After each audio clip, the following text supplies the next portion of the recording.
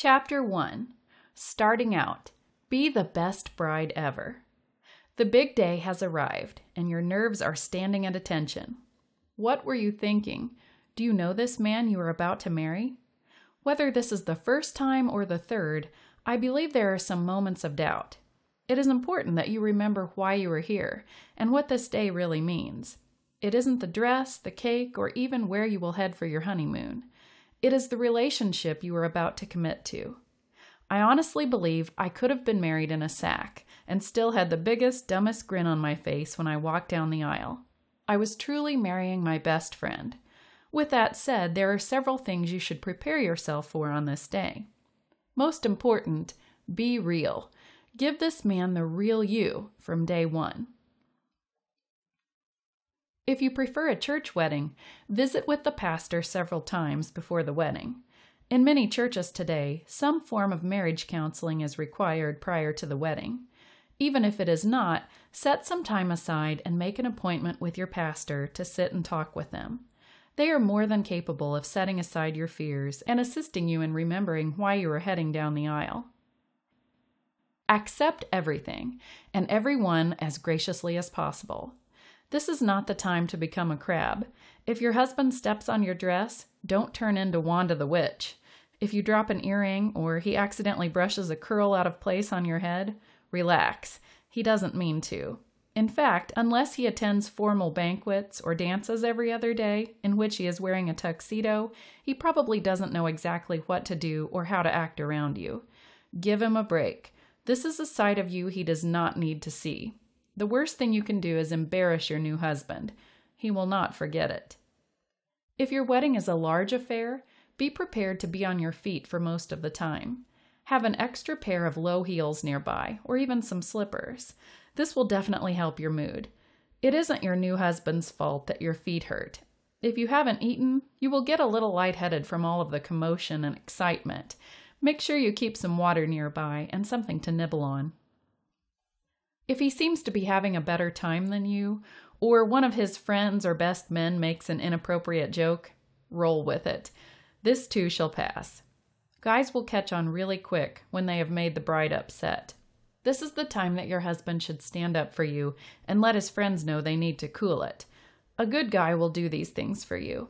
If he doesn't, it is probably because he has never had to put them in their place.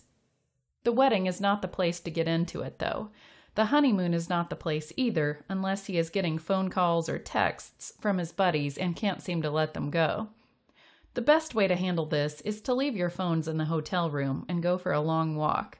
Talk about things and how you feel. If all is good, wait until you get home and the time is right to really discuss those old friendships.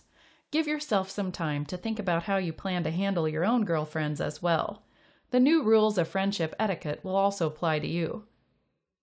Speaking of eating, make sure you do eat something besides cake.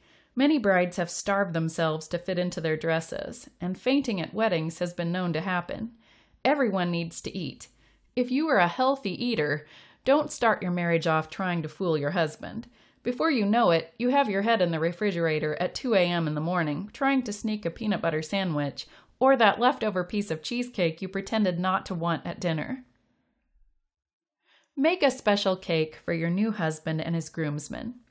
Bakers usually refer to this cake as the groom's cake. Have this be a surprise for your man. I would suggest a replica of his favorite sports team or hobby, such as fishing or hunting. Include a little note, letting him know how much you love him. I have seen some very interesting cakes, and they can be so much fun.